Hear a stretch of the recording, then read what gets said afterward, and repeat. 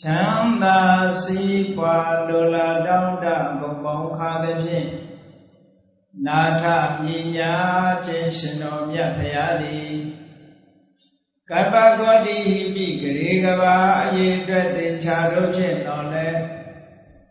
အပယ်မယံရည်အတွက်တိုင်းတာဖော်ပြခြင်းကမစွမ်းနိုင်ပါသောကာလလေးအသိချေသိမ့်နေကဘာရှိကြသောကာလပတ်လုံး လောကဟိတယတတ္တလောကဤအကျိုးစီးပွားအလုံးကအတိတကရာဏိဩစာတဲ့ချေလက်အင်္ဂါမေတ္တာကြီးမာသမိတာနှင့်တထာဇနီစွန်ញင်းကြီးဟုကျက်တိထဝေငါးတဲ့အစုအလုံးခဲရင်သောမူလို့ကိုကရွန်တော်ဘုရားဖြစ်ရန်ဤတန်ကျိုးကိုအာထုတော်မူရသည်ဖြစ်၍ ခေရလက်ချေမျက်လုံးအသက်ဆုံးရဲ့နှလုံးစိတ်ဝံကိုရောဤပြမန်းခြင်းသို့ကတောဘဝတဏ္ဍကျိန်ဖန်များစွာရောက်တော်မူခဲ့ရရှာလေသည်မဟာကရုဏီကတတတဝါများယင်ဝေသားကဲ့သို့တနာချစ်ခင်မဟာကရုဏာရှင်ဖြစ်တော်မူသောရတနာရတဝိနည်းများစွာတတဝါဤ ချမ်းသာစီးပွားလိုလားတောင်းတဘုံပေါင်းခါသဖြင့်နာထမြညာထိုးရှင်တော်မြတ်ဖရာအားနမောယုတိပြောင်းပြောမှန်ကိုလျော်၍ကရောယုကျိုးရှိခိုးခြင်းသည်အတ္တဘဝတုစင်စစ်မသွေဖြစ်ပါစေတည်း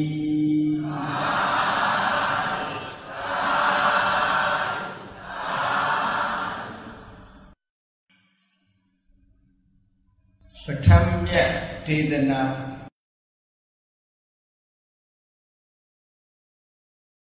ဘုရားရဲ့ပိဋကစာပေထဲမှာ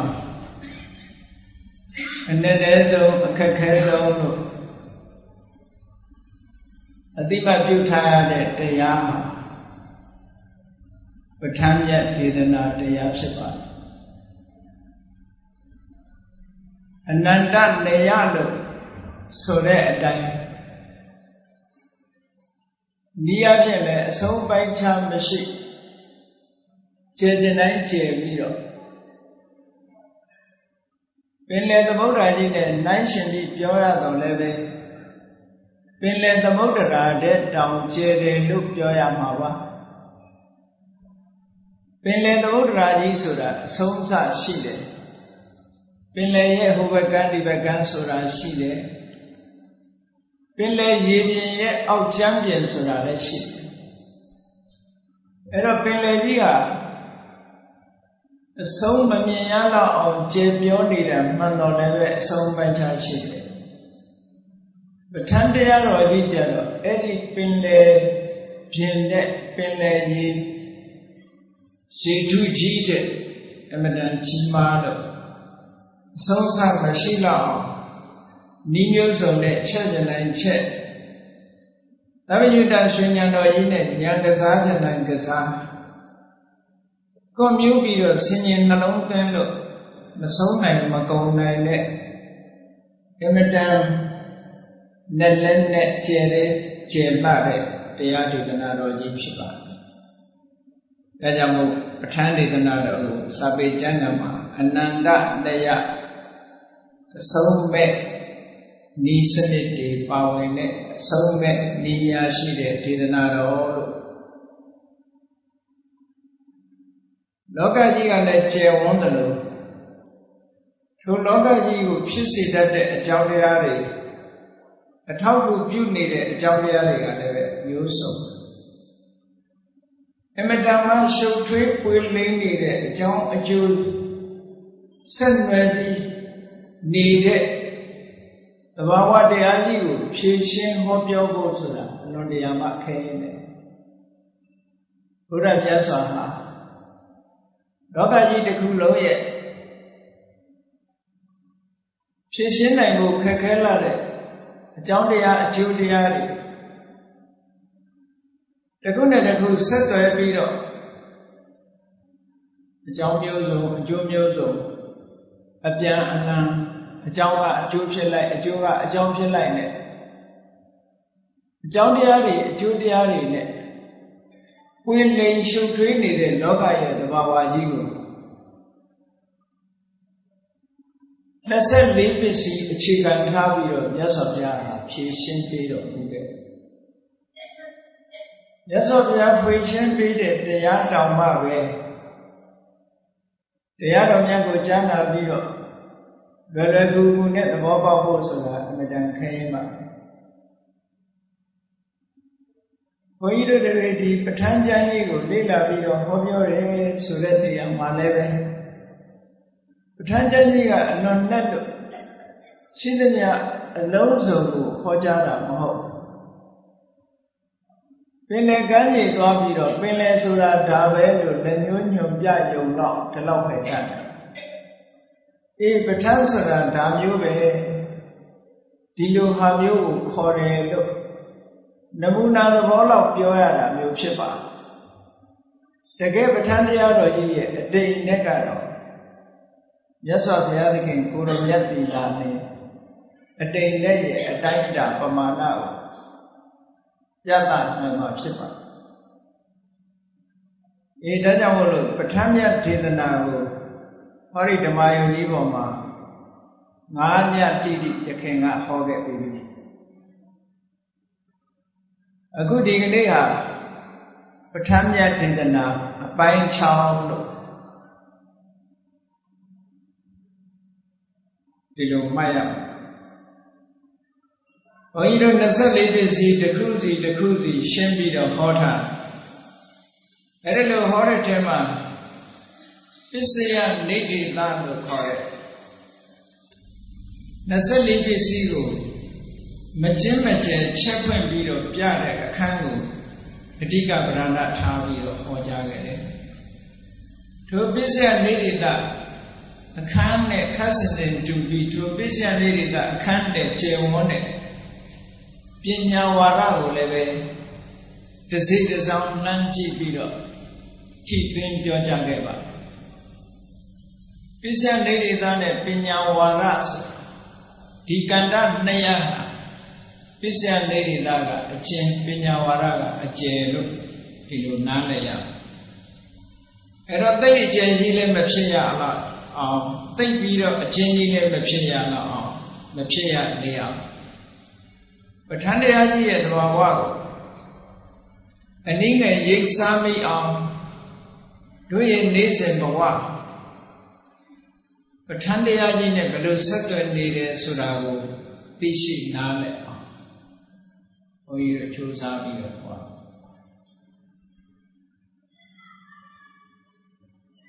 ဟေတုပစ္စယောကနေစတင်ပြီးတော့ဟောခဲ့တာဥပနေတယပစ္စယောတိအောင်ရှင်းလင်းဟောပြပြီးသားဖြစ်ပါတယ်အခုဒီကနေ့ညဥရိဇာတပစ္စယောဆိုတာ မယ်မြန်မာနိုင်ငံမှာတော့ပဋ္ဌာန်းတရားတော်ပဋ္ဌာန်းတရားတော်နဲ့မြန်မာပြည်ကတရားဓမ္မလိုက်စားတဲ့လူထုတွေကအမတမယဉ်ကြီးတယ်ပဋ္ဌာန်းတရားကြီးကအမတမခက်ခဲတယ်လေးနဲ့တယ်လို့ဆိုတော့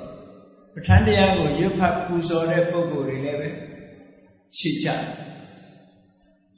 အေးအတမဆဲပဋ္ဌာန်းပွဲတွေနဲ့ရွတ်ဖတ်ပူဇော်နေကြတာကိုလည်းကြားမှုကြတယ်တချို့ကလည်းအန္တရာယ်ကင်းဆိုပြီးတော့24ပစ္စည်းကိုရွတ်နေကြတာလည်းရှိတယ်ပေါ့နော်အဲ့ဒီထဲမှာဘုရားမြတ်စွာရဲ့ရည်ရွယ်ချက်အတိုင်းဟောဒီ24ပစ္စည်းဘုန်းကြီးတို့တဘဝတနေ့တာ ဘဝတနေ့တာမှာ24နာရီရှိ24နာရီလုံးလုံးဟာ24ပစ္စည်းနဲ့စခန်းသွားနေကြတယ်အဲ့ဒီ24ပစ္စည်းမိမိတို့ဘဝမှာဘယ်လိုဆက်သွဲနေတယ်ဆိုတာကိုသိရှိနားလည်ဖို့ဒီကနေ့ပုရိသတာပစ္စယော စကလုံးရဲ့အဓိပ္ပာယ်ကိုရှင်းဥစွာရှင်းရပုရိသတာပုရိဆိုတာရှင်းဥစွာကြိုတင်ပြီးတော့ဆိုတဲ့အဓိပ္ပာယ်ဇာတဆိုတာဖြစ်နှင့်နေတဲ့ပစ္စယအကြောင်းတရားရှင်းဥစွာကြိုတင်ပြီးတော့ဖြစ်နှင့်နေတဲ့အကြောင်းတရားလို့ အကြောင်းတရားတစ်ခုကအကျိုးတရားတစ်ခုအကြောင်းတရားကအကျိုးတရားကိုထုတ်လုပ်တဲ့အခါမှာအကြောင်းတရားကအကျိုးတရားတဲ့ကြိုတင်ဖြစ်နေနေတာရှိတယ်အကြောင်းတရားကအကျိုးတရားတဲ့နောက်မှာဖြစ်တာရှိတယ်အကြောင်းတရားနဲ့အကျိုးတရားဟာဗျိုင်းတူဖြစ်နေတာရှိတယ်ဒါကြောင့်မလို့24ပြည့်စည်ရဲ့မှာ ဥရိဇာတဆိုတာရှိတယ်လို့ပစ္ဆာဇာတအကြောင်းတရားကအကျိုးတရားတဲ့နောက်မှာဖြစ်လာဒါလည်းရှိသဟဇာတအကြောင်းတရားနဲ့အကျိုးတရားဗျိုင်းပြီးဖြစ်လာတယ်ဆိုတာလည်းရှိအခုပုရိဇာတဆိုတာတော့ကျိုးတင်ဖြစ်နေနေတဲ့အကြောင်းတရားတဲ့ကျိုးတင်ဖြစ်နေနေတာလေ ဘယ်မှာရှိတာတုံးဆိုဘုန်းကြီးတို့ခန္ဓာမှာပဲဖြစ်ဒါတွေကဘုန်းကြီးတို့ခန္ဓာနဲ့ဘုန်းကြီးတို့ပတ်ဝန်းကျင်မှာရှိအဲ့ဒါလို့ကျုပ်တင်ဖြစ်နေပြီးတော့အကျိုးတရားတွေကိုအထောက်အကူပြုနေတယ်ဖြစ်ပေါ်စေတယ်အကြောင်းတရားဆိုဒီမှာဖြစ်စေတာလည်းအကြောင်းတရားပဲ အကျိုးတစ်ခုကိုထုတ်လုပ်ပြီးတော့ဖြစ်စေတဲ့အကြောင်းတရားကိုလည်းအကြောင်းလို့ခေါ်တယ်ဖြစ်စေတာမဟုတ်ဘဲနဲ့ဖြစ်ပေါ်နေတဲ့အကျိုးတရားကိုထိမ့်သိမ့်တာ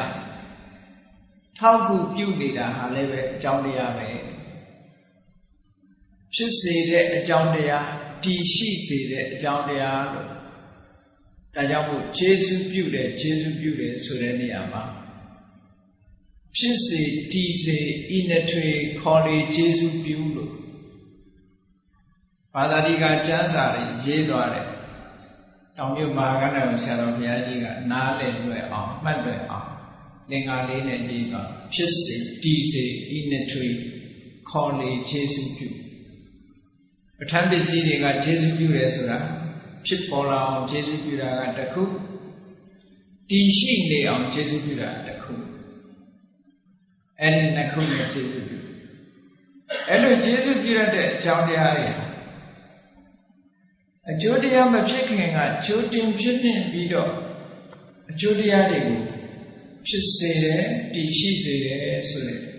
အကြောင်းတရားမျိုးကိုပုရိသတာပစ္စယောလို့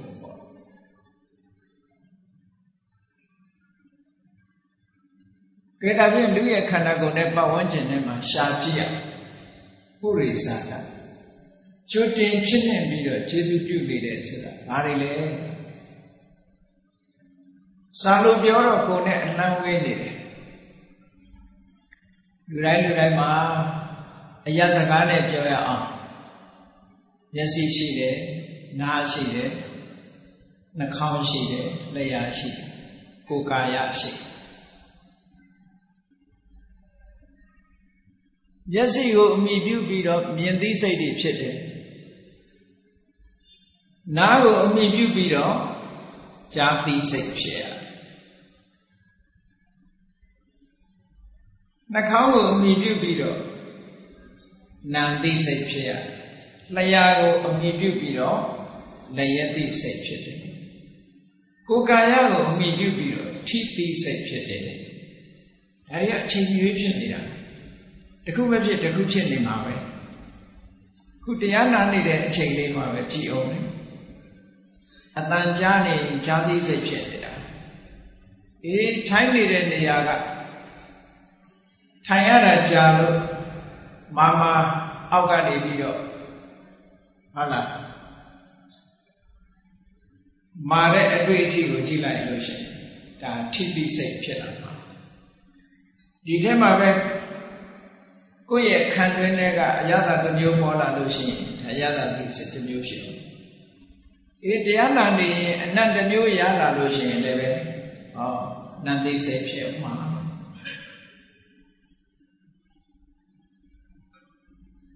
ကိုမျက်စိဖွင့်ထားလို့မြင်ရလို့လို့ရှိရင်လည်းမြင်သိစိတ်တွေဖြစ်နေတယ်တရားနာနေတုန်းကိုပဲဒီတဘာဝတရားတွေမိမိတဏ္ဍာမှာဖြစ်နေတယ်ဆိုတာအာရုံတတိထားမိကြတယ်။ ဒါလည်းဖြစ်နေစာလို့ပြောမယ်ဆိုရင်မျက်စိဆိုတာစက္ခုပတာရယုတ်လို့ခေါ်တယ်။အာယတနာနာမည်နဲ့ပြောလို့ရှိရင်စက္ခာယတနာစက္ခုအာယတနာ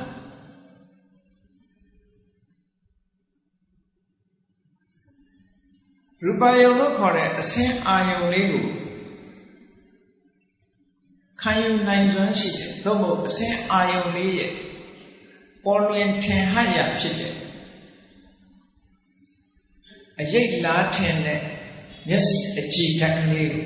သက္ကုပ္ပတာရလို့ခေါ်တယ်အဲ့ဒီအကြောင်းလေးကိုပြော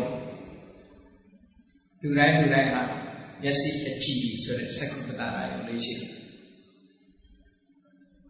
အဲ့ဒီသက္ကုအကြည်ထဲမှာ မြင်စရာအာယုံလေးလာပြီးတော့အရေးထင်လိုက်တာနဲ့တကြိုင်နဲ့မြင်သိစိတ်ဆိုတာလေးပေါ်လာတယ်အခုပြောမှာကမြင်စရာအာယုံလေးလာပြီးတော့ထင်ပေါ်တဲ့သက္ခုပတာရယုတ်က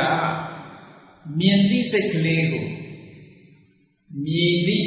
စွန့်ရည်တတ္တိတွေနဲ့အထောက်အကူပြုနေတယ်လေဆိုတာဒါပုရိသတတ္တိနဲ့ပြော တာမန်ဆိုလို့ရှိရင်မျက်စိရှိမြင်လိုက်တာပဲမြင်လို့ရှိရင်မြင်သိစိတ်ပေါ်လိုက်တာပဲဒါတော့ပဲသိဘာတတ္တိဘာစွန့်ရည်တတ္တိနဲ့ဘယ်ပစ္စည်းနဲ့ခြေစုပ်ပြုတယ်ဆိုတာရသော်ဘုရားထောက်ဟောကြားတဲ့တရားတော်ကြမှာသိလို့ရတယ်အဲ့တော့မြတ်စွာဘုရားကရူပယုံဆိုတဲ့အဆင်းအာယုံလေးလာပြီးတော့အရေးထင်တဲ့နေရာလေးဟာ မြင်သိစိတ်ဖြစ်ဖို့ရာအတွက်ကြိုတင်ပြီးတော့ပေါ်နေတဲ့အကြောင်းတရားလေးလို့ဒီလိုဟောထားတာပုရိသဒပစ္စည်းလို့ဒီလိုပြောကြိုတင်ပြီးတော့ပေါ်နေတယ်ဆိုတော့ဘောက်ကြိုတင်ပြီးတော့ပေါ်တယ်လေအတိုင်းအတာတစ်ခုပဲနိုင်ပိုင်းကြိုတင်တာလားသို့မဟုတ်လပိုင်းကြိုတင်နေတာလားသို့မဟုတ်နှစ်ပိုင်းကြိုတင်နေတာလားမေးစရာရှိတယ်နော် အရာခတ်သိမ်းဟာအလုံးသဘောပေါက်ပြီးသားသင်္ခါရတရားအရာခတ်သိမ်းဟာထာဝရရွေရှားနေတယ်ဆိုတာအဘိဓမ္မာသင်ဘူးတဲ့ပုဂ္ဂိုလ်တွေသိလိမ့်မယ်လူတွေရဲ့တဏ္ဍာမှာသက္ခုပတာရယုတ်ကလေးဟာကန့်ညောင်ဖြစ်လာအဲ့ဒီကန့်ညောင်ဖြစ်လာတဲ့သက္ခုပတာရယုတ်ကလေးသည်စိတ်တစ်ခု စိတ်တခဏလို့ခေါ်တဲ့စိတ်ရဲ့ဖြစ်တည်ပြက်ဒီခဏငယ်သုံးခုမှာဖြစ်တဲ့အခိုက်ကလေးမှလည်းပဲသက္ကုပ္ပတာရယုတ်ကလေးတွေဖြစ်လာတယ်တီးနေတဲ့အခိုက်ကလေးမှလည်းပဲသက္ကုပ္ပတာရယုတ်ကလေးဖြစ်နေတယ်ပြတ်သွားတဲ့အချိန်ပိုင်းမှာလည်းပဲသက္ကုပ္ပတာရယုတ်ကလေးကဖြစ်နေတယ်ဒါစိတ်နဲ့ပြောတာစိတ်နဲ့ပြောတာတာမန်ပြောမယ်ဆိုရင်ဘယ်လိုပြောမလို့ဆိုရင် သက္ကုပ္ပတာရယုတ်ကလေးကိုကံတရားကထုတ်လုပ်လိုက်တဲ့အချိန်မှာစက္ကန့်မလတ်ဒလဇတ်အတိတ်တွေဖြစ်နေတယ်ဒီလိုမှန်စက္ကန့်မလတ်သက္ကုပ္ပတာရယုတ်ကလေးတွေဟာအတိတ်အတိတ်တွေအများအားဖြစ်နေတယ်ဒါဖြင့်အတိတ်အတိတ်တွေဖြစ်နေရင်အဟောင်းတွေကဘယ်ရောက်ကုန်လဲသင်္ခါရရဲ့သဘောတရားအရာ စိတ်တခဏ16ချက်ညတာအသက်ရှည်နိုင်တယ်ဖြစ်လိုက်တဲ့သက္ခုပတာရယုတ်လေးရဲ့တက်တန်းနေစိတ်နဲ့တိုင်းတာကြည့်မယ်ဆိုရင်စိတ်16ချက်သို့မဟုတ်ခဏငယ်52ချက်သိလွယ်အောင်ပြောလို့ရှိရင်စက္ကန့်52စက္ကန့်လို့ပြောတယ်ပြောဒါသိလွယ်အောင်ပြောတာ52စက္ကန့်နဲ့ပိုတူနိုင်သေးတယ်เนาะအမတန်မှစိတ်ကမြန်လေးအတွက် အဲ့တော့အသိဖြစ်တဲ့သက္ကုပ္ပတာရယုတ်ကလေးဟာဆက်ခုနှစ်ချက်ခန့်အတိုင်းအတာလေးတော့တင်ဒီထပ်ပြီးတော့ပျက်စီးသွားပျက်စီးသွားတယ်ဆိုဘယ်ရောက်သွားလုံးဝပြောင်းသွားလုံးဝပျက်စီးနောက်ထပ်အသစ်အသစ်အသစ်အသစ်တွေကတော့ဒလဇတ်ဖြစ်နေတာအေးဘုန်းကြီးတို့တွေ ဟောဒီမျက်စိအကြည်ကလေးစရလာတဲ့အချိန်ကနေပြီးတော့ဒလဇတ်ဖြစ်နေတာလေစဉ်းစားကြည့်ပထမဆုံးဖြစ်တဲ့သက္ကုပ္ပတာရာလေးဒီစိတ်တခဏစိတ်ရဲ့ခဏ16ချက်ပြည့်တာနဲ့ချုပ်သွားပြီဒုတိယဖြစ်တဲ့ဟာလေးကနောက်ထပ်ဆက်နေတယ်တတိယဖြစ်တာလေးကဆက်နေတယ်ဩစင်ဆက်မပြတ်ဖြစ်နေတာလဲဒလဇတ်ပဲဖြစ်လာပြီးရင်လည်းပဲသူ့တက်တန်းအလျောက်ပျောက်ကွယ်ပျောက်ကွယ်သွားနေတာ မြစ်ကြီးကိုသွားပြီးတော့ကြည့်လိုက်မယ်ဆိုရင်မြစ်ရည်ဟာတသွင်းနဲ့စီးသို့တော်လည်းအေးဒုငငယ်တော့ကလည်းဒီမြစ်ကြီးတဲ့ရေတွေစီးနေတာဒီကနေ့လဲရေတွေစီးနေတာပဲလို့ဒီလိုပဲမြင်ရမှာဒီရေတွေပဲလို့ထင်လိုက်ဒီသက္ကုပ္ပတာရယုတ်လေးဟာဒုငငယ်ကမျက်လုံးရလာကြတဲ့ကိုကဒီသက္ကုပ္ပတာရယုတ်ကလေးဟာဒီတိုင်းပဲလို့ဒီလိုထင်ကြ သို့တော့မြည်ရည်စီးတဲ့ရေစီးတဲ့ပုံပြီးတော့လျင်မြန်တဲ့နှုံနာတဲ့သက္ကုပ္ပတာရယုတ်တွေဟာအတိအသည့်ဖြစ်ပြီးတော့ပျက်စီးနေတာတဲ့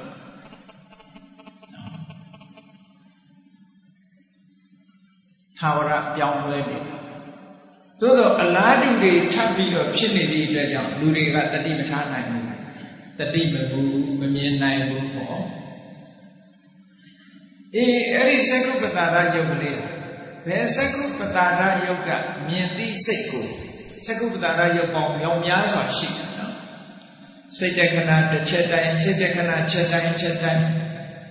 ခဏတိုင်းခဏတိုင်းမှာသက္ကုပ္ပတာရယုတ်တွေကအတိတ်အတိတ်အတိတ်အတိတ်ဖြစ်နေတာအဲ့ဒီအတိတ်အတိတ်ဖြစ်နေတဲ့သက္ကုပ္ပတာရယုတ်တွေဘယ်သက္ကုပ္ပတာရယုတ်ကမြင်သိစိတ်ကိုဥရိဇာတတ္တိနဲ့ခြေစုပြုနေတာလေ ဘယ်သက္ကုပ္ပတာရကိုပုရိသတတတ္တိလို့ခေါ်မှာလဲ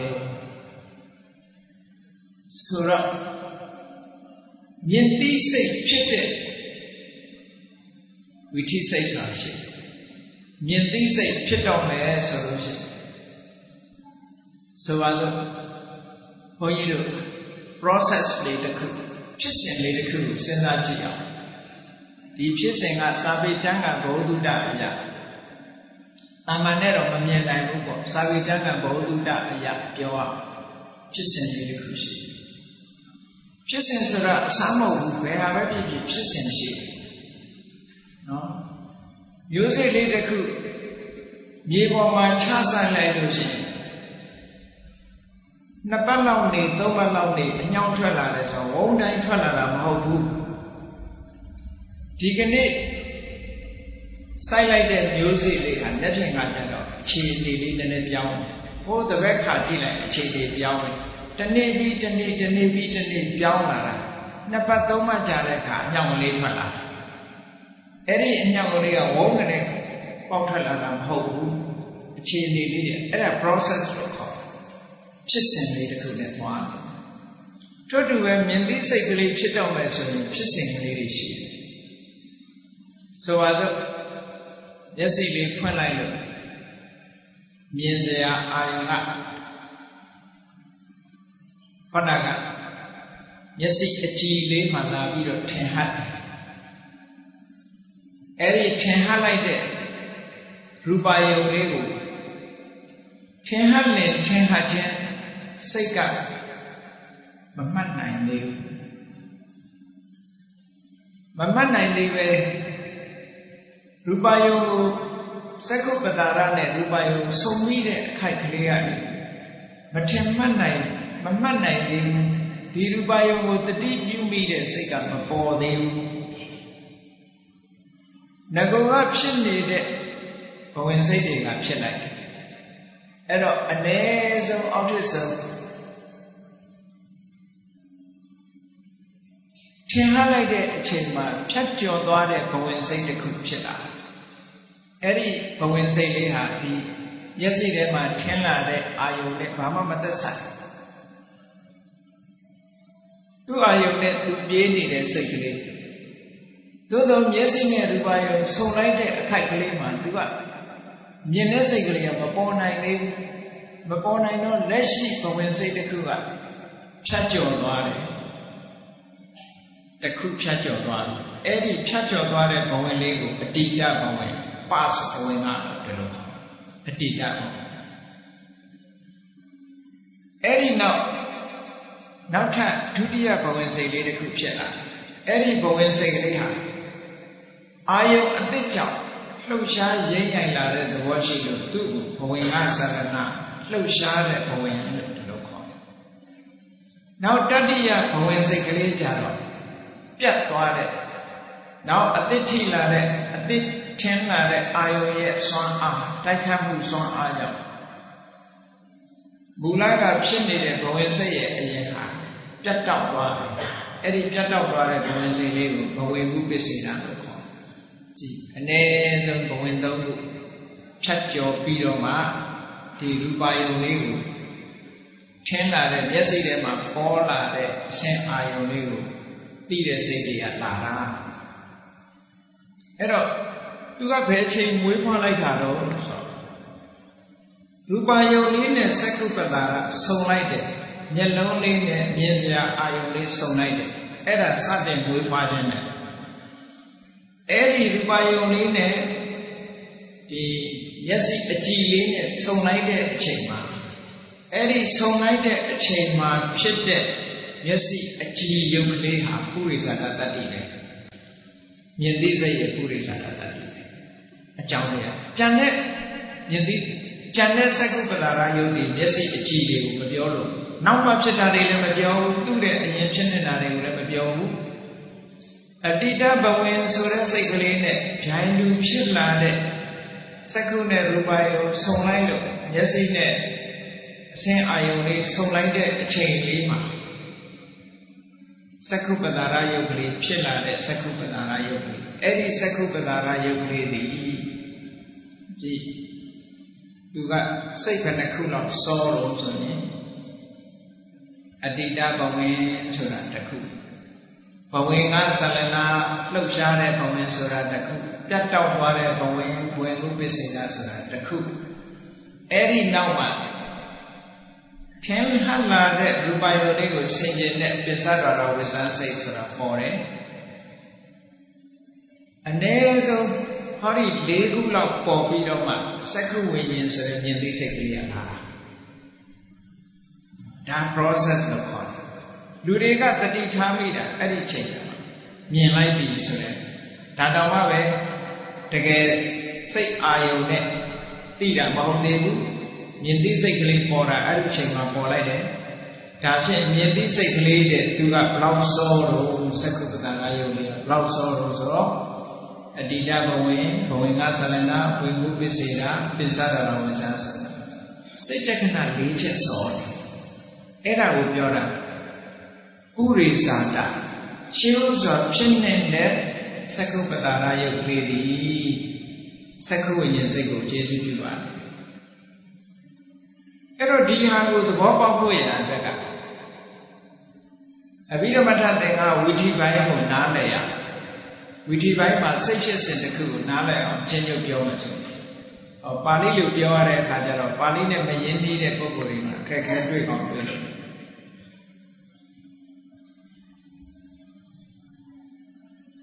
အဲ့တော့ဘဝင်စိတ်ဆိုတာမူလပရိသေစိတ်ကိုပဲခေါ်တာပဲမူလပရိသေစိတ်ဆိုတာမျက်စိကမြင်တဲ့အာယုံနဲ့လည်းမဆိုင်ဘူးနားကကြားတဲ့အသံနဲ့လည်းမဆိုင်ဘူးကံရဲ့အရှိန်အဟုန်နဲ့ သူ့မှာငကိုကယူထားတဲ့အာယုံနဲ့သူကသွားနေတယ်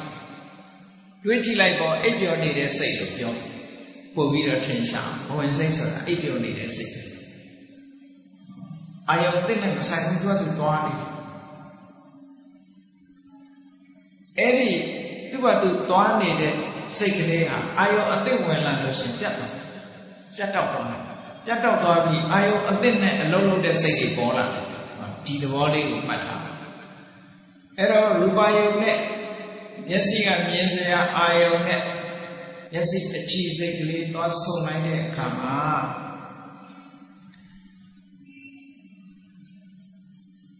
အတိတဘဝင်ဆိုတဲ့စိတ်ကလေးတစ်ခုကဖြစ်တည်ပြည့်ခဏငယ်သုံးရက်နဲ့ပြတ်သွားသူပြတ်သွားတာနဲ့တပြိုင်နက်နောက်ထပ်ဘဝင်ကဆလနာဆိုတဲ့ဝင်စိတ်တစ်ခုထပ်ပေါ်လာသူလည်းသုံးချက်နဲ့ပြတ်သွား နောက်ထပ်ဘဝင်ကုပ္ပစေနာဆိုတဲ့ဘဝင်စိတ်တတ္တိယဘဝင်စိတ်ပေါ်လာတယ်သူလည်းပြတ်သွားအဲ့ဒီဘဝင်စိတ်သုံးခုတည်ထင်ဟပ်လာတဲ့အာယုန်နဲ့ဘာမှမသက်ဆိုင်ဘူးသိလည်းမသိဘူးသူတို့ကဒီအာယုန်ကိုသူတို့တတိမဆိုလိုတာအိပ်ပျော်နေသေးတယ်စပြီးတော့လုံးလာတာဘယ်ကြမှာလုံးလို့ပင်စသွားတာဝိဇံ မျက်စိကထင်းလာတဲ့အာယုံကိုဆင်ញင်တဲ့စိတ်ဆိုတာအဲ့ဒီစိတ်ပေါ်လာတယ် attending consciousness အာယုံအတိတ်ကို attend လုပ် attention လုပ်တာအဲ့စိတ်ပေါ်လာအဲ့ဒီစိတ်ပေါ်ပြီးတဲ့နောက်မှာဘာပေါ်တော့ဆိုစက္ခုဝိညာဉ်စိတ်မြင်သိစိတ်ဆိုတာပေါ်လာတယ်မြင်သိစိတ်ပေါ်လာပြီးရင်ဘာပေါ်လာတော့ဆိုတမ္ပတိဆိုင်ဆိုတဲ့အဲ့ဒီအာယုံကိုလက်ခံလိုက်တဲ့စိတ်ပေါ်တယ် လက်ခံတဲ့စိတ်ပေါ်ပြီးရင်ဘာလဲဆိုတာကိုစုံစမ်းတဲ့တန်တိရဏစိတ်ပေါ်လာတန်တိရဏစိတ်ပေါ်ပြီးတဲ့အခါကျတော့ဘာပေါ်တော့ဆိုအာယုံရဲ့သဘာဝအကောင်းဆိုရင်အကောင်းဆိုးဆိုရင်ဆိုးဆုံးဖြတ်ချက်ချတဲ့ဝုထောဆိုတဲ့စိတ်ပေါ်လာဘုဒ္ဓဆိုတာတခြားစိတ်မဟုတ်ဘူးမတော်ရတာဝိသပဲသူလည်း attention နဲ့ အဲ့ဒီစိတ်လေးပေါ်လာပြီးတဲ့နောက်မှာသူကဇောကိုအခြေအနေတစ်ခုပေးလိုက်အဲ့ဒီနောက်မှာအရှိန်အဟုန်နဲ့ဖြစ်တဲ့စိတ်ဇောစိတ်လို့ခေါ်တယ်ဇောစိတ်ကရိုးရအားဖြင့်ဟာ6 9ကြိမ်ပေါ်လာဇောစိတ်ဟာဒီအာယုံနဲ့အလုံးလုံးတဲ့စိတ်အာယုံရဲ့အရသာတွေ့ကြုံရတဲ့စိတ်ကုသိုလ်ဖြစ်ခြင်းလည်းဖြစ်မယ်အကုသိုလ်ဖြစ်ခြင်းလည်းဖြစ်မယ် ဘုံထောစိတ်ရဲ့ဥဒိချက်အတိုင်းပဲကုသိုလ်ဖြစ်ခြင်းဖြစ်သွားတယ်အကုသိုလ်ဖြစ်ခြင်းဖြစ်သွားမြင်တဲ့အာယုံလေးဇောစိတ်ခေါ်လို့ဖြစ်ဇောစိတ်ပြီးတဲ့အခါကျတော့အရှိန်အဟုန်နောက်နောက်ကနေလိုက်ပါသွားတဲ့ဘဝင်စိတ်နှစ်ခုပိဋ္ဌိဘဝင်ကလို့ခေါ်တယ်အဲ့ဒီဘဝင်စိတ်ကိုတော့နာမည်အသစ်ပေးထားတယ်တရားယုံတဲ့တကယ်ကတော့ဘဝင်စိတ်ပဲကျိုးစိတ်အဲ့ဒီတရားယုံစိတ်တစ်ခုဖြစ်လိုက်တဲ့အခါကျတော့ ခုနကရူပါယုံလေးရဲ့တက်တန်းမှာမျက်စိထဲမှာထင်းလာတဲ့အာယုံလေးရဲ့တက်တန်းဟာစိတ်တက္ကနာ16ချက်ပဲရှိတယ်ဒီတဲ့ရှေ့ဆက်သွားလို့မရဘူးသူ့တက်တန်းစီးသွားပြီအဲ့ဒီမှာချုပ်တယ်အော်စိတ်16ချက်မှာမျက်စိထဲမှာပေါ်လာတယ်ဓမ္မချိန်ပေါ်လာတယ်ထင်ဟပ်ပေါ်လွင်လာတဲ့ရူပါယုံလေးတက်တန်းဟာအတိတဘဝင်ပထမနဲ့ဥပပထအတိတဘဝင်ဥပခဏမှာဖြစ်ပေါ်လာတဲ့ဖြစ်စမှာဥပလာတဲ့ ဒီရူပါယုံလေးဟာဒုတိယဒရာယုံစိတ်ရဲ့ချုပ်တဲ့အခိုင်ဘင်ကခဏမှာပြန်လို့ချုပ်တော့ဒါစိတ်ဖြစ်စဉ်လေးတစ်ခုနားလဲအခုပြောမဲ့ပုရိသတာပစ္စည်းဆိုတာတခြားဟာကိုမပြောဘူးရူပယုံလေးကအစင်းအာယုံလေးကမျက်စိထဲမှာထင်ဟပ်လာတယ်အဲ့ဒီထင်ဟပ်လာတဲ့မျက်စိအကြည်ယုတ်ကလေးအကြောင်းပြော အဲ့ဒီမျက်စိအကြည်ယုတ်ကလေးဒီဘယ်တော့ကအကြည်ယုတ်လဲသိမ့်ပေါင်းများစွာတန်ပေါင်းများစွာရှိတဲ့အကြည်ယုတ်တွေကဘယ်တော့ကအကြည်ယုတ်လို့ဆိုရင်အတိတဘဝင်နဲ့ပြိုင်ပြီးတော့ဖြစ်လာတဲ့အကြည်ယုတ်ကလေးတဲ့အဲ့ဒီအကြည်ယုတ်လေးတွေအတိတဘဝင်ဘဝင်ကဆလနာဘွေဟုပစ္စေတာပစ္ဆဒရာဝိဇ္ဇန်ဆိုတော့စိတ်လေးခုသူကစောတယ်စက္ခုဝိညာဉ်မဖြစ်ခင်၄ချိန်စော စိတ်တခဏ၄ခုစောတယ်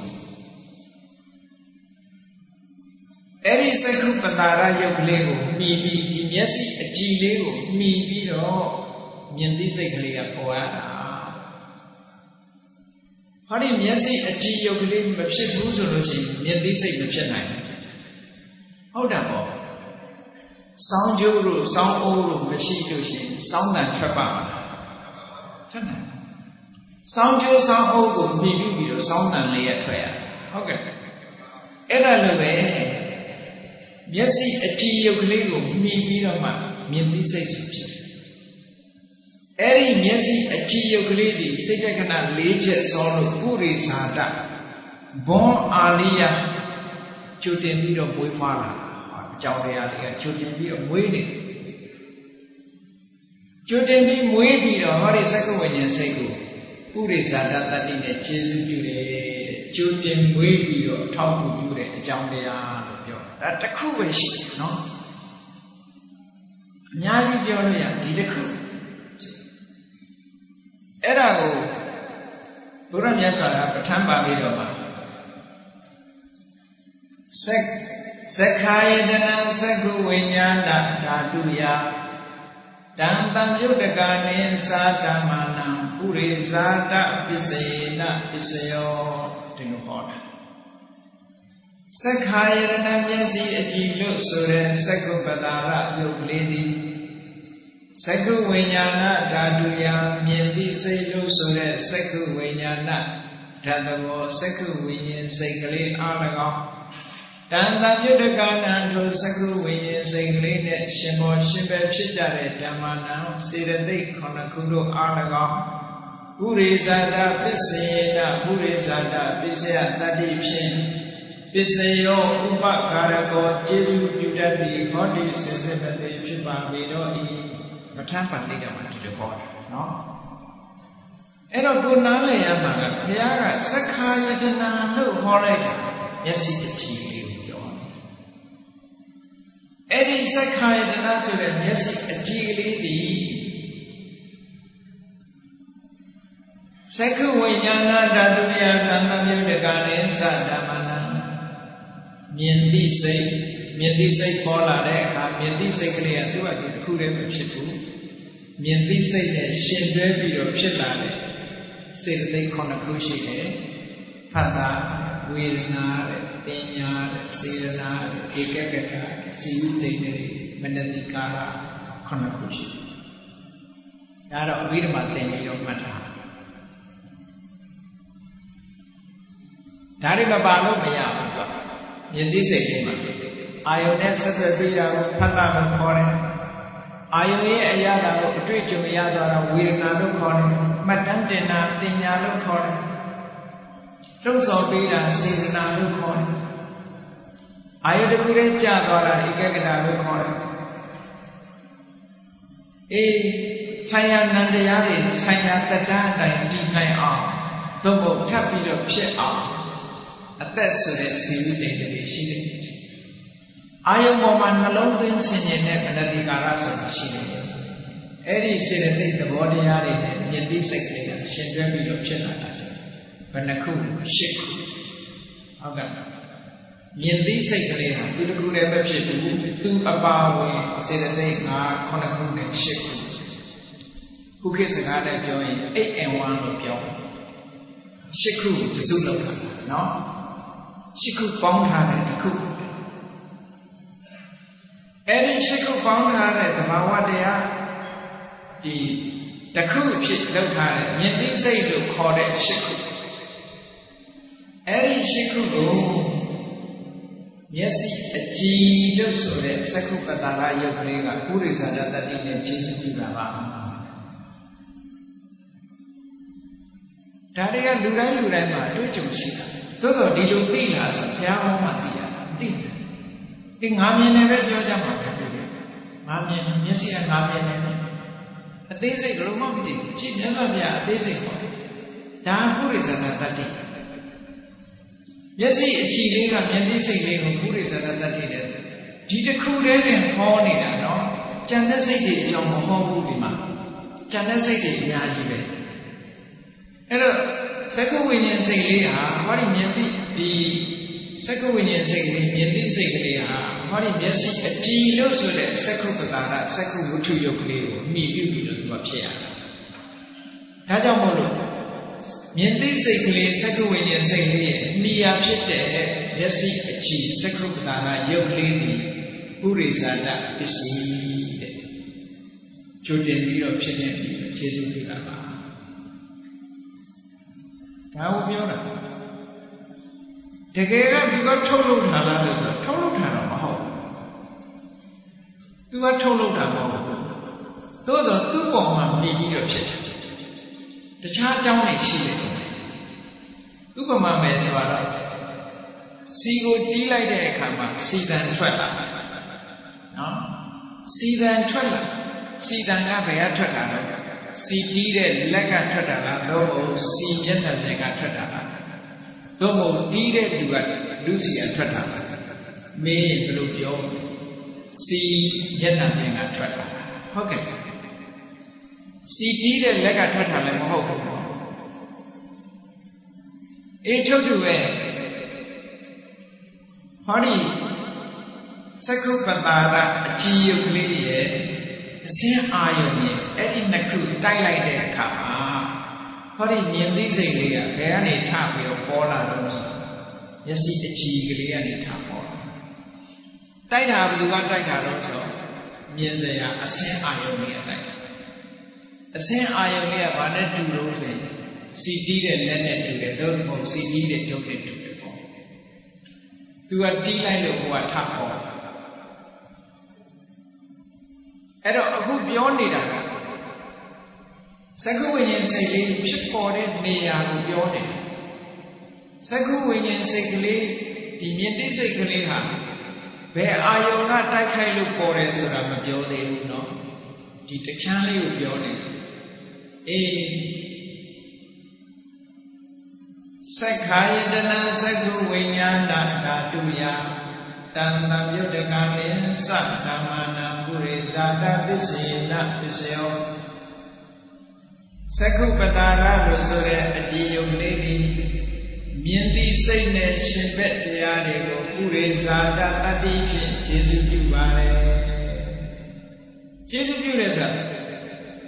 အကယ်၍သာမျက်စိအကြည်ကလေးပြတ်သွားမယ်ဆိုရင်မြင်သိစိတ်ဖြစ်နိုင်ပါ့မလားဖြစ်နိုင်တော့သူမရှိရင်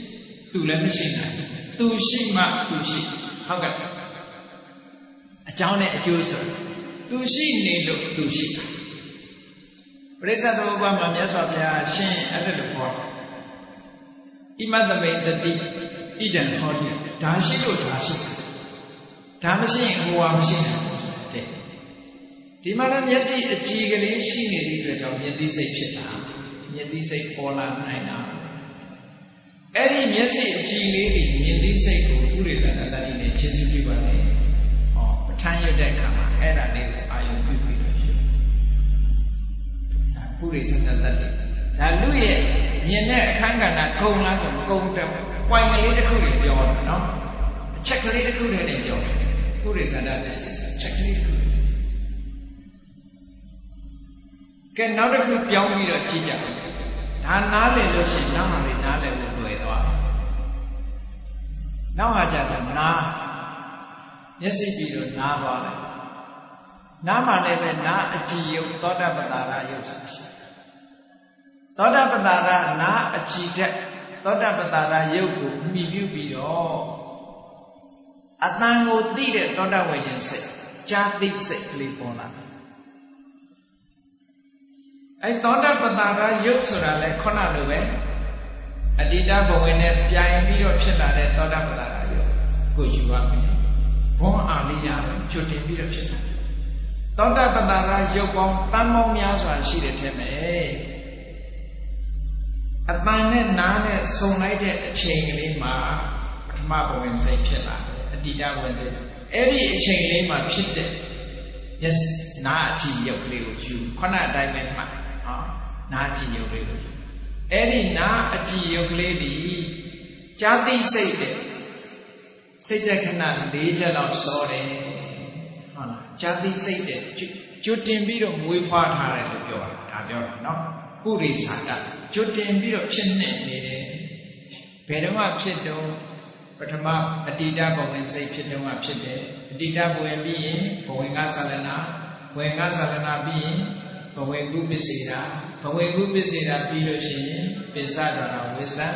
ပိစ္ဆဒရဝိဇ္ဇံပြီးမှသောတဝိညာဉ်စိတ်ဆိုဖြစ်တာစိတ်တက္ကနာ၄ချက်စောပြီးတော့ဖြစ်တာအဲ့ဒါကိုကုရိသတာလို့ပြောတာနော်ကြိုးပြီးဖြစ်အဲ့ဒါကိုမြတ်စွာဘုရားကသတ္တာယတနံသောတာယတနံသောတာဝိညာဏဓာတုယ ဓာတမြုတကနိသတ္တမနံပုရိသတပစ္စေနပစ္စယောသောတာယတနံနာအကြည်လို့ဆိုတဲ့သောတာပတ္တာရယုတ်ကလေးဟာအာယတနနာမည်နဲ့ဟောထားတာများစွာအာယတနဆိုတာ base တီယာမိယာဆိုတဲ့နာဆိုတဲ့အတိုင်းမိယာတီယာလေးသောတာယရဏသောတာပတာရယုတ်လို့ဆိုတဲ့ သောတာဝုထုယုတ်လေးသည်သောတာဝိညာဏဓာတုယသောတာဝိညာဏဓာတ်လို့ခေါ်တဲ့ဇာတိစိတ်ကလေးအား၎င်းတန်တမြုတကဏံဓမ္မနံထိုဇာတိစိတ်နှင့်အတူတကွရှင်ပြီးတော့ဖြစ်ပေါ်လာတဲ့စေတသိက်တရားတို့အား၎င်းပုရိဇာတပစ္စေနာပုရိဇာတပစ္စယတတိဖြင့်ပစ္စယောဥပကရကောကျေစုပြုတတ်သည်ဟောတိစင်စစ်မတိဖြစ်ပါပေတော့၏ ကြည်ဟောဒီနာအကြည်ဆိုတာလေးမရှိဘူးဆိုလို့ရှိရင်ဇာတိစိတ်ဖြစ်နိုင်မှာဖြစ်နိုင်နာအကြည်လေးဟာဇာတိစိတ်ရဲ့မိယာအနေနဲ့ရှေးဥစွာဖြစ်နေပြီးတော့ခြေစုပြုပါမယ်ကျေးဇူးပြုတယ်ဆိုတဲ့ဟာဖြစ်စီတာလည်းမဟုတ်ဘူးနော်ကျေးဇူးပြုတယ်ဆိုတဲ့သဘောကတစ်ခုနဲ့တစ်ခုဆက်သွယ်ပြီးတော့ဖြစ်နေတာကိုပြောတာနော်ဆက်သွယ်ပြီးတော့ဖြစ်နေတယ် အေးအဲ့ဒီတိုင်းပဲနောက်တစ်ခုဆက်ပြီးတော့စဉ်းစားကြည့်မြတ်စွာဘုရားကဒီချက်ကလေးပဲဟောတယ်သကုသောတာပြီးတော့ခန္ဓာနှာခေါင်းထဲကအကြည့်ရုပ်ကလေးခန္ဓာယတနံခန္ဓာဝိညာဏဓာတုယတံတမြုတကနိသဓမ္မနံပုရိသတပစ္စေနပစ္စယော ခန္ဓာယတနာလို့ဆိုတဲ့နှာခေါင်းအကြည့်ယုတ်လေးအနံ့ကိုဖမ်းနိုင်တဲ့နေရာခန္ဓာပတ္တာရယုတ်ကလေးအဲ့ဒီခန္ဓာပတ္တာရယုတ်ကလေးဟာစကုပ္ပတာရလို့ပဲနားလည်ရမယ်နန္တိစိတ်ကိုခြေစွပ်ပြုတယ်နန္တိစိတ်ကလေးဟာခန္ဓာပတာရယုတ်ကိုမှီပြီးတော့မှဖြစ်နိုင်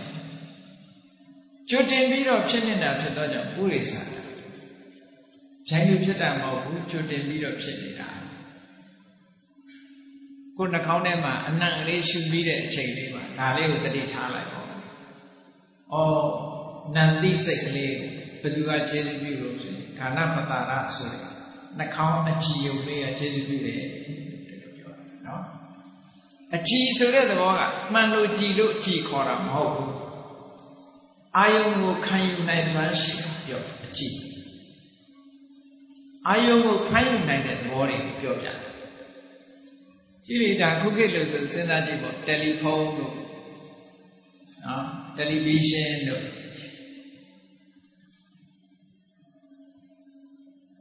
ဆက်သွယ်လုံးထားတဲ့ရေဒီယိုတို့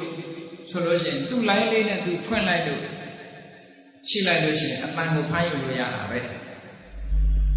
တယ်လီဖုန်းကလည်းအဝေးကပြောတဲ့အတန်တွေဖမ်းယူလို့ရတာတယ်လီဗီရှင်းကလည်းအဝေးကရုပ်တွေဖမ်းယူလို့ရတာ အဲ့ဒါလိုပဲနှာခေါင်းထဲမှာရှိတဲ့အကြည်ရုပ်ကလေးကအနံ့ကိုဖမ်းနိုင်တယ်တခြားနေရာကတော့ဖမ်းမယူနိုင်ဘူးလေလေဒီယိုဆိုလဲလေဒီယိုအခွန်ကြီးကဖမ်းနိုင်တယ်မဟုတ်တာဖမ်းနိုင်တဲ့နေရာတနေရာပဲရှိတာပဲတယ်လီဖုန်းဆိုလဲတယ်လီဖုန်းတွေကသူ့ဟာသူ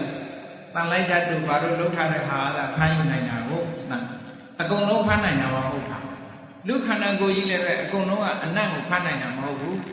အနံ့ကိုဖမ်းနိုင်တာပဲဖမ်းနိုင်လို့ဆိုရင်နှာခေါင်းအချီယုတ်ကလေးဖမ်း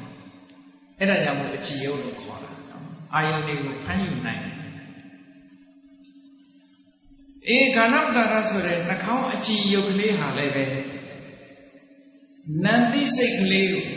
ကျွတ်တင်ဖြစ်နေပြီးတော့ခြေစွပြုတာဖြစ်တော့ကြောင့်ပုရိသတာပစ္စည်းသူပုရိသတာပစ္စည်းလို့ခေါ်တယ်ပုရိသတာပစ္စယတတိလို့ခေါ်တယ် ကဲထို့တူပဲဆင်ញင်စဉ်းစားကြည့်လူတွေနေ့စဉ်နဲ့များမနေ့စာစားတယ်နေ့စာစားတယ်ညစာစားတယ်ဒီကြားထဲစားရင်စားသေးတယ်ဟုတ်လားအစာအာဟာရနဲ့ပါဇက်နဲ့မပြတ်ဘူးစားလိုက်တဲ့အစာရှားပေါ်ရောက်တာနဲ့အရသာတွေ့အေးချိုရင်ချိုတယ်ပြောတယ်ငါရင်ငါနဲ့ပြောတယ်နော်မချိုရင်လည်းမချိုဘူးပြောမှာပေါ့ခါရင်ခါလည်းပြောစိုက်ရင်စက်တယ်ပြော အဲ့လိုချိုးချင်းငံခါဆက်ဖန်ဆိုတဲ့ဒီအရသာတွေကိုသိတဲ့စိတ်ကလေးကပေါ်လာအဲ့တော့အရသာသိတဲ့စိတ်ကလေးဟာခုနကအယတာကလျာဆိုတဲ့အကြည့်ရုပ်ကလေးနဲ့ထိလိုက်တဲ့အခါဒါပေါ်လာအဲ့ဒီအယတာသိတဲ့စိတ်ကလေးဟာလည်းပဲလျာဆိုတဲ့ဇီဝပတာရရုပ်ကလေးကိုမှီပြုပြီးတော့ပေါ်ရတာ လျာမရှိရင်အယတာသိတဲ့စိတ်မဖြစ်နိုင်ဘူးအဲ့ဒါကိုပဲမြတ်စွာဘုရားကဇီဝယတနာဇီဝဝိညာဏဓာတုယတံသမြုတ်တကာနိသဓမ္မနံပုရိသတပစ္စေနပစ္စယောဇီဝယတနာဇီဝယတနာလို့ခေါ်တဲ့လျာအကြည်ယုတ်ကလေးသည်ဇီဝဝိညာဏဓာတုယဇီဝဝိညာဏဓာတ်လို့ခေါ်ရတဲ့ လယတိစိတ်ကလေးအား၎င်းတန်သမြုတ်တကာနိသဓမ္မနံထိုလယတိစိတ်ကလေးနှင့်အတူတကောဖြစ်အတူတကောပြက်အတူတကဝအာယုပြုပြီးအတူတကဝမိကြတဲ့စေတသိက်လို့ဆိုတဲ့သဘာဝတရားတို့အား၎င်းပုရိဇာတာပစ္စေနာပုရိဇာတာပစ္စယတတ္တိဖြင့်ပစ္စယောဥပကာရကောယေရှုပြုတတ်ပါလေယေရှုပြုထားတာ ညို့ဆိုသူမပေါ်နိုင်ဘူးလူတွေပြောကြတယ်မော်လားအေးဒါလေးကသူယေရှုသူကယေရှုပြုလို့ဒါလေးရတာလို့ပြောကြတယ်နော်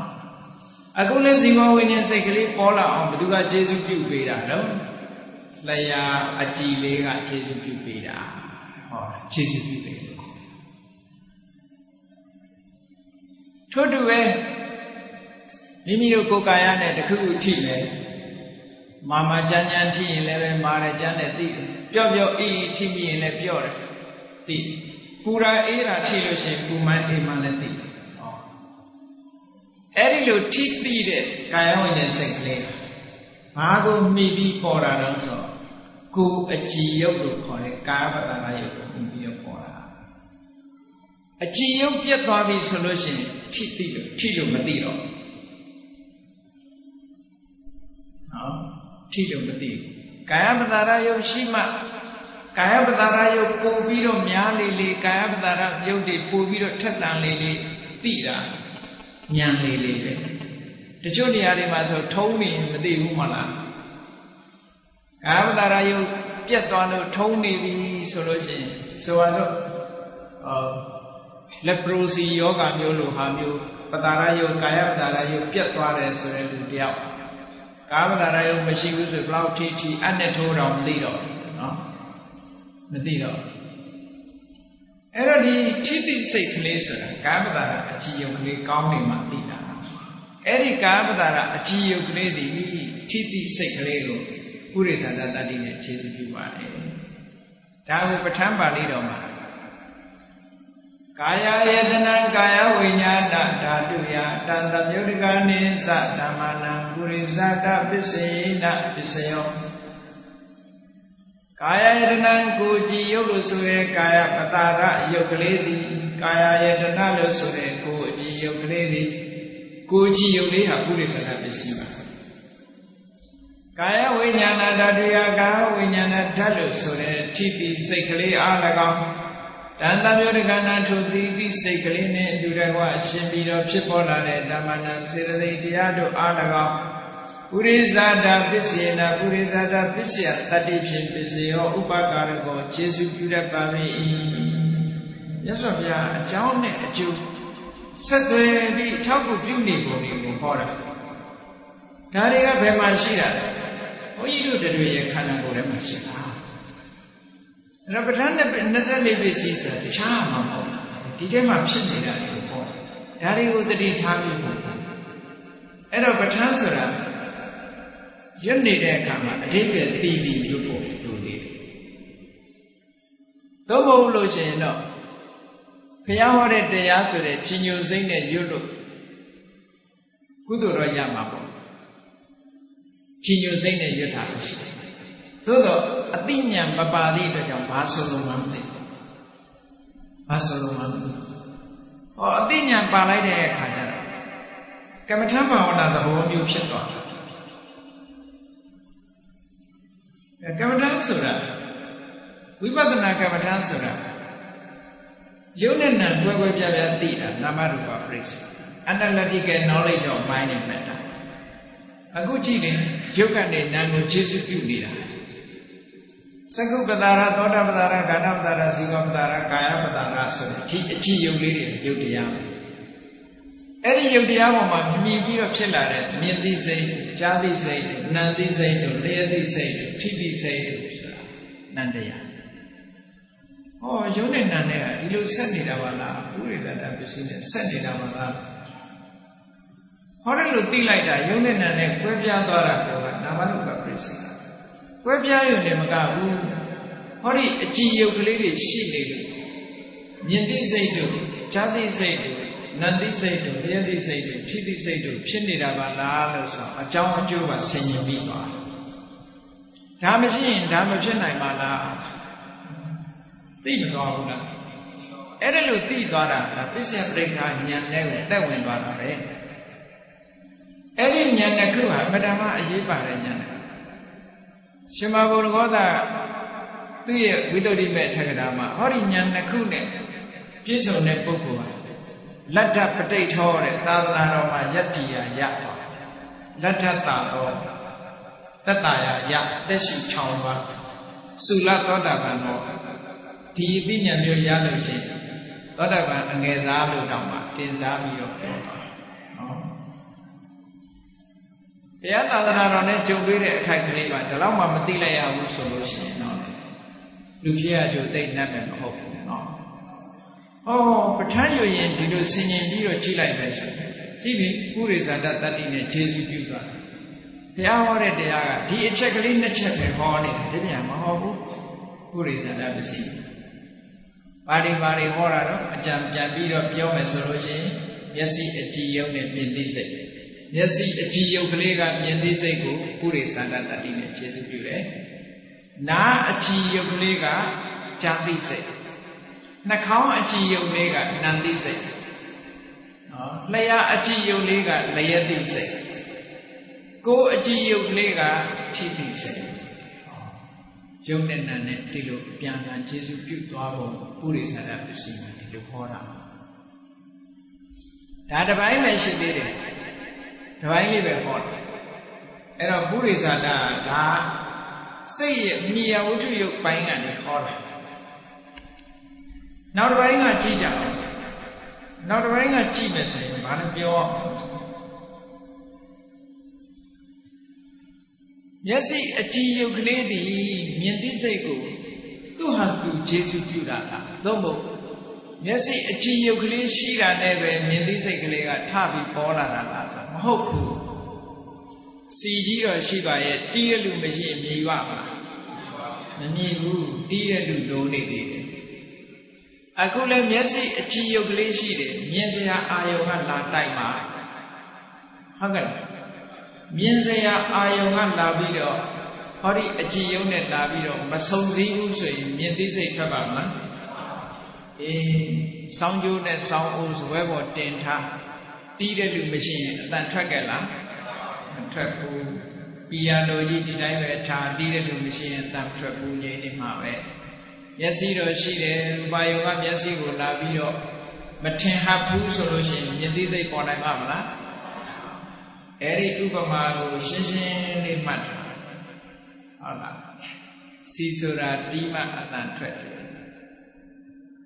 စီကိုလက်နဲ့တီးတယ်ဆိုလို့ရှိရင်စီရဲ့လက်ရဲ့ထိုစီနဲ့လက်နဲ့ပေါင်းလို့ဖြစ်ပေါ်လာတဲ့အတန်ရဲ့သုံးမျိုးရှိထို့တူပဲ မျက်စိရဲ့အဆင်းအာယုံရဲ့မျက်စိကစီနဲ့တူတယ်အဆင်းအာယုံကစီတီးတဲ့လက်နဲ့တူတယ်ဖြစ်ပေါ်လာတဲ့စီတန်နဲ့မြင်သိစိတ်နဲ့တူတယ်သုံးမျိုးရှိတယ်အေးပုရိသတာတတ္တိမှာမျက်စိအကြည်ယုတ်ကလေးသာပုရိသတာတတ္တိမဟုတ်ဘူးတဲ့အဲ့ဒီအကြည်ယုတ်ကလေးကိုလာပြီးတော့ ထင်ဟပ်ပြီးတော့ထိခိုက်လိုက်တဲ့ဒါအာယုန်နဲ့ဝတ္ထုစုံစည်းတာတိုက်ခိုက်တာလူတွေကတော့မကြားလိုက်ဘူးပေါ့တိုက်ခိုက်မှုကပြင်းထန်ဒီစိတ်ကလေးပွင့်သွားတော့အောင်တိုက်ခိုက်တာနော်တာမန်တိုက်တာတွေတော့လူတွေသိတာပေါ့ကားနှစီတိုက်လိုက်ရင်ဒုံးနဲ့ဆိုဖြစ်သွားတယ်ဟုတ်တယ်မလားတာမန်တိုက်တာတွေလူတွေသိသို့တော့မျက်လုံးကိုအစင်းအာယုံတွေကလာတိုက်တာမသိလိုက် သူလည်းအရှိန်အဟုန်တအားကြီးတယ်မြင်သိစိတ်ဘွားနဲ့ပေါ်လာအောင်တိုက်တာမတိုက်ခဲနဲ့မပေါ်ဘူးတိုက်လို့ပေါ်တယ်နော်လူမကြားနိုင်တဲ့လူမမြင်နိုင်တဲ့တိုက်ခိုက်မှုတွေဒါကိုလည်းပဋိက္ခလို့ခေါ်တိုက်ခိုက်မှုပဲကဲကောင်းပြီမျက်စိဆိုတဲ့အကြည့်ယုတ်လေးကိုအဆင်းအာယုံလာတိုက်တယ်အဲ့ဒီအဆင်းအာယုံလေးကရောစက္ကဝိညာဉ်စိတ်ကိုဘာကျေဘာတတ္တိနဲ့ခြေစုပ်ပြုလဲ ဟောဒီပုရိသတာနဲ့ခြေစုပ်ပြုသူကဘယ်ချိန်ကမွေးဖွားတာတုံးဆိုတော့ခုနကပြောတယ်ပထမဘဝင်စိတ်ဥပတ်တဲ့အချိန်လေးမှာသူတို့ပေါ်လာတာသူလည်းစိတ်တဲ့ခဏ၄ချက်စောပြီးတော့ပေါ်လာတယ်ဘွန်အာလေးရကျွတ်တင်ပြီးတော့မွေးဖွားလာတဲ့အကြောင်းတရားအဲ့ဒါကိုမြတ်စွာဘုရားကဟောတယ်စကလုံးပြောင်းသွားတာကိုတတိထား ရူပယတနာသက္ခဝိညာဏဓာတုယတန်တမြုတ်တကနိသဓမ္မနံပုရိဇာတပစ္စေနပစ္စယောရူပယတနာအစင်းအာယုံလေးခုနတုန်းကစက္ခာယတနာမျက်စိအကြည့်ရုပ်ကလေးဟုတ်ကဲ့အခုဟာကမျက်စိအကြည့်ရုပ်ကလေးမှလာပြီးတော့ထိခိုက်တဲ့အစင်းအာယုံကလေး ရူပယတနာရူပယတနာလို့ခေါ်တဲ့မျက်စိရဲ့အဆင့်မျက်စိမှာလာပြီးတော့ထင်ဟပ်လာတဲ့အဆင့်အာယုံကလေးဒီသက္ကုဝိညာဏဓာတုယသက္ကုဝိညာဏဓာတ်လို့ခေါ်ရတဲ့မြင်သိစိတ်အား၎င်းတန်တမြုတ်တကနာထုသက္ကုဝိညာဉ်စိတ်နဲ့ရှင်တွဲ၍ဖြစ်ပေါ်လာတဲ့ဓမ္မနံစေသိခုနှစ်ခုတို့အား၎င်းပုရိဇာတပစ္စယေနာပုရိဇာတတတ္တိဖြင့်ပစ္စယောဥပကာရောကျေစုပြုတတ်ပါ၏ သက္ကုပ္ပတာရယုံမှာလာပြီးတော့ထင်ဟပ်တဲ့မြင်စရာအာယုံအဆင်းအာယုံလေးကလည်းမြင်သိစိတ်ကိုပုရိသတတတိနဲ့ခြေစုပ်တယ်အဲ့ဒါကိုတော့အာရမဏပုရိသတအာယုံပိုင်းခုနကဝတ္ထုပုရိသမိယအနေနဲ့ခြေစုပ်အခုဟာကအာယုံအနေနဲ့ခြေစုပ်သဘောကဒါပဲသို့တော့နှစ်ခုစလုံးนี่ဖွန်အာမိယကျူတင်ပြီးတော့ဝေဖားထားတာ ကြောင်းတရားတွေကျွတ်တင်မွေးဖွားနေတာကဲဒါဆိုရင်သဘောပေါက်ပြီချမ်းသာတယ်လေတတ္ထာယတနံသောတာဝိညာဏဓာတုယတန်တမြုတ်တကနိသဓမ္မနံပုရိဇာတပစ္စေနပစ္စယောတတ္ထာယတနဆိုတဲ့အတန်အာယုံလေးဟာလည်းပဲဇာတိစိတ်ကိုဇာတိစိတ်နဲ့စေတသိက်ကိုပုရိဇာတတတ္တိနဲ့ခြေစုပ်ပြုပါတယ်ဟောအာဟိယ ခန္ဓာယတနံခာနဝိညာဏဓာတုယတံတမြတကနိသဓမ္မနာပုရိဇာတပစ္စေနပစ္စယောခန္ဓာဆိုတာအနတ်ခန္ဓာဆိုတာနှာခေါင်းခန္ဓာယတနာခန္ဓာယတနာလို့ဆိုတဲ့အနတ်အာယုန်လေးဒီအနတ်အာယုန်လေးကနေပြီးတော့နန္တိစိတ်ခန္ဓာဝိညာဉ်စိတ် ခန္ဓာဝိညာဏဓာတုယတံသဗ္ဗေကနိသတ္တမနံပုရိဇာတပစ္စယေနပစ္စယောအနတ်အာယုန်လေးဒီနန္တိစိတ်နဲ့ရှင်ဘက်စေတသိက်တို့ကိုပုရိဇာတတ္တိနဲ့အခြေစုပြုပါတယ်ခြေစုပြုတယ်ဆိုတာဖြစ်စေတည်စေဒီနဲ့တူသူတိုင်းလို့သူရှိလို့ဒါဖြစ်ရဖြစ်စေတယ်ဆိုတာသူရှိလို့ဒါရှိဆိုပါတော့ဟောအခုကြည့်လေ တရားစစ်မင်းရှိလို့အလင်းရောင်မရှိဘူးလား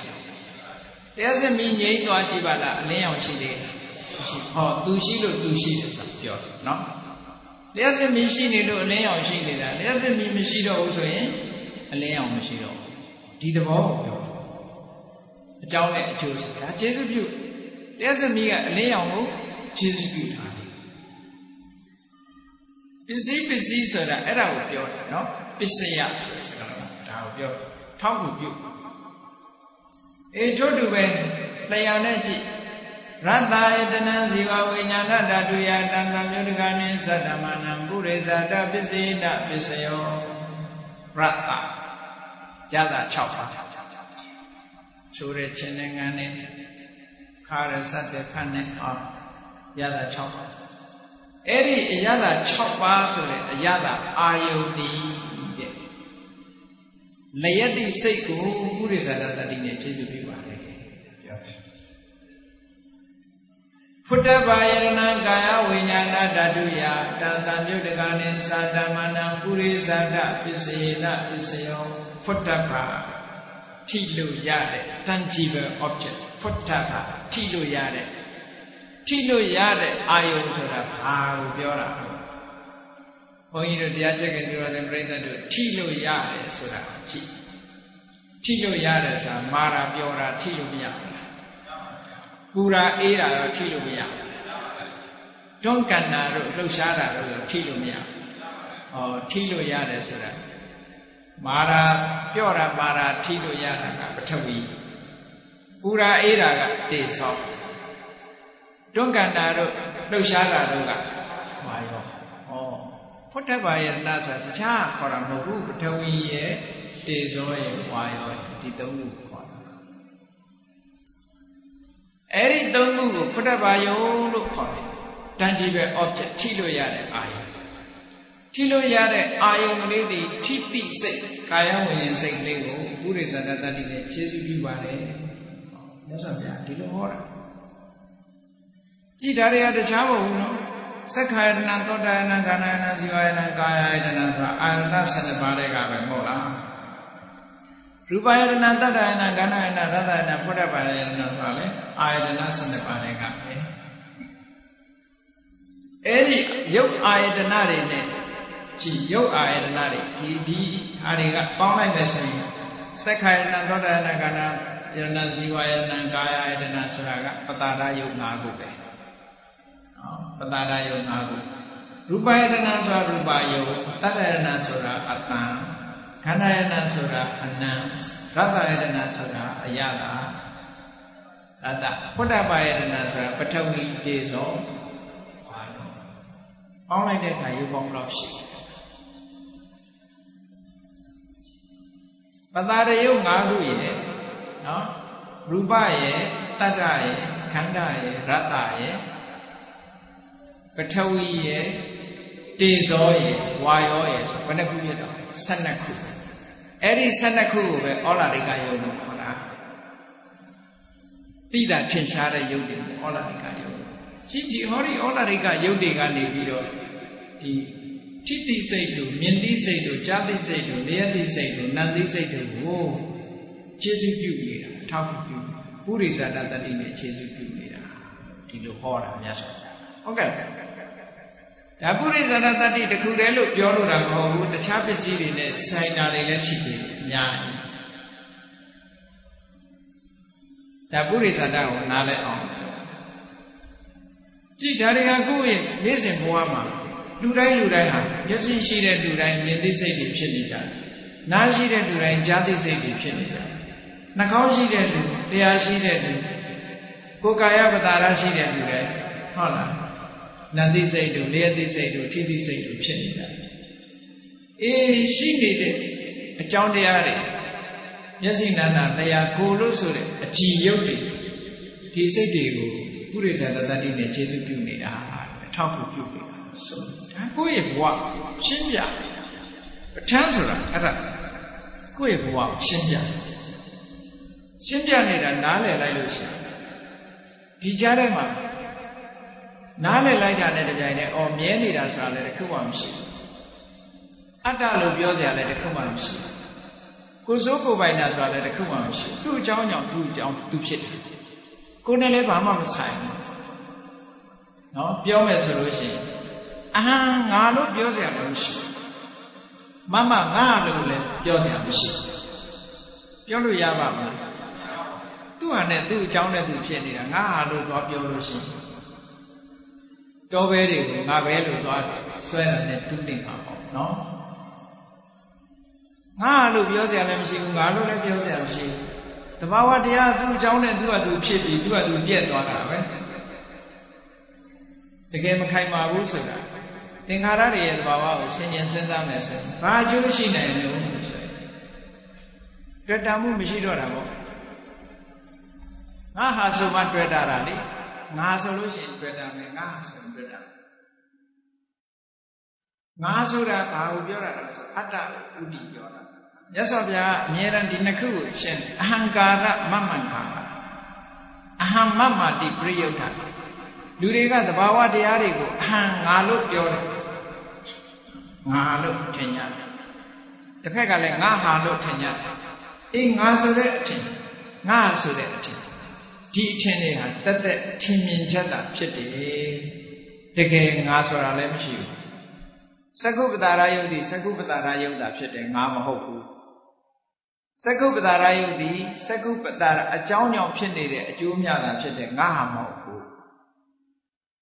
ငါမဟုတ်တာငါဟာမဟုတ်တာတွေကလူတွေကငါလုပ်ပြီးငါဟာလုပ်နေကြတာအဲ့ဒါကြောင့်မို့လို့တန်တရားထဲမှာမျက်စိလည်ပြီးတော့ဒုက္ခတွေဝေးငါ မဟုတ်တာကိုငါလုပ်ပြီးတော့ဆင်းရဲကြတယ်ပင်ပန်းကြတယ်ဖြစ်ရလေခြင်းတောကတွေလားဟုတ်ကဲ့ငါမဟုတ်တာကိုငါဟာလို့ထင်ပြီးတော့ငိုကြွေးနေကြတယ်ဒါကိုအရိယာသူတော်စင်တွေအနေနဲ့ကြည့်မယ်ဆိုရင်လူတွေကရည်စရာအလွန်ကောင်းတယ်ပြောတယ်ပုရုဇနောဥမ္မတကောဆိုတာအဲ့ဒါပြောတာနော်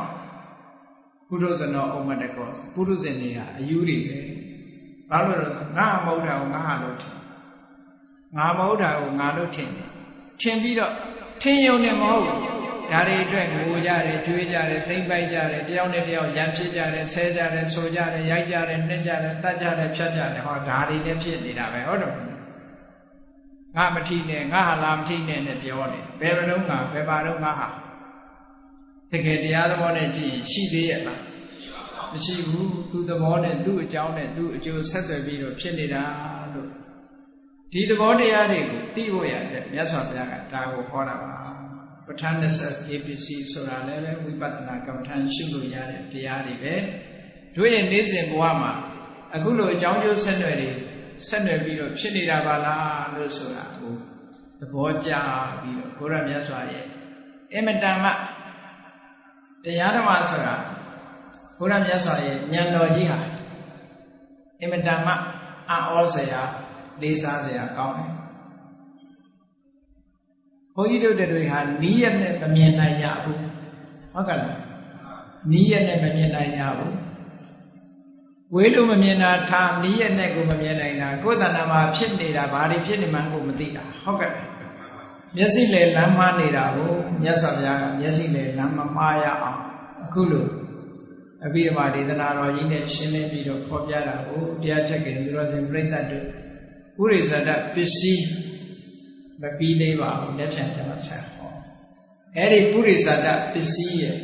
သဘောတဘာဝတွေကိုသိရှိနားလည်ပြီးတဲ့အခါဩငါလို့ခေါ်စရာလည်းတခုမှမရှိပါလားငါဟာလို့ပြောစရာလည်းတခုမှမရှိပါလား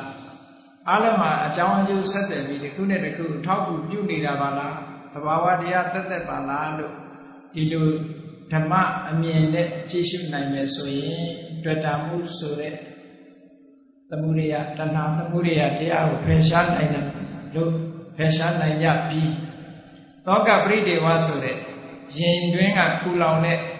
အစိုးတရားတွေကိုလည်းဖယ်ရှားနိုင်ကြမှာဖြစ်ပြီးသာဝရငြိမ့်တတ်တဲ့အငြိမ့်တတ်ကိုကိုယ်စီကိုယ်ကမျက်မှောက်ပြုနိုင်ကြမှာဖြစ်တယ်ဆိုတာမှန်ကန်တဲ့လမ်းကြောင်းမှန်ကန်တဲ့အတွေ့အတွေကိုတွေးပြီးတော့